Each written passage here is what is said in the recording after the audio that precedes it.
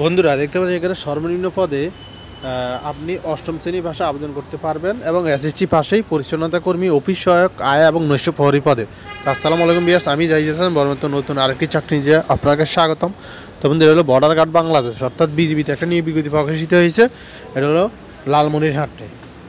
Border guard public student college তো চলেন আমরা কথা না বলে সম্পূর্ণ ভিডিও শুরু করব। শুরু করে আগে একটি কথা চ্যানেল নতুন হয়ে থাকলে এখনই চ্যানেলটি সাবস্ক্রাইব করে পাশে থাকা বেলেগনটা অল করে দিবেন, নিত্য নবীদের চাকরি সবার আগে পাওয়ার জন্য।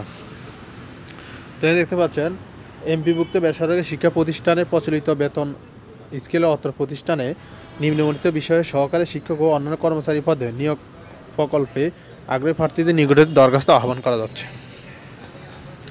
কত পোস্টার রয়েছে সহকারী শিক্ষক, গণিত, পদার্থবিজ্ঞান, রসায়ন বিজ্ঞান, সমাজ, ইংরেজি, ইসলাম ধর্ম ও নৈতিক শিক্ষা, পরিসংখ্যান চারু কারুকলা, আইসিটি। এর ন্যূনতম শিক্ষক যোগ্যতা হলো দ্বিতীয় বিভাগ, শ্রেণির সমানের জিপিএ, অনার্স সহ স্নাতকোত্তর ডিগ্রি।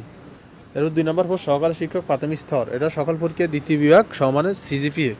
তারপর রয়েছে নিম্নমান সহকারী কাম, কম্পিউটার অপারেটর। এটা এইচএসসি পাস, সমান পরীক্ষা উত্তীর্ণ এবং বাংলা চল্লিশ, ইংরাজি পঁয়তাল্লিশ শব্দের গতিসহ গ্রাফিক ডিজাইন ও ইন্টারনেট ব্রাউজিং ও দক্ষতা সহ কম্পিউটারের প্রশিক্ষণপ্রাপ্ত লাগবে। তারপর রয়েছে অফিস সহায়ক আয়া নৈশ ফরি এসএসসি উত্তীর্ণ।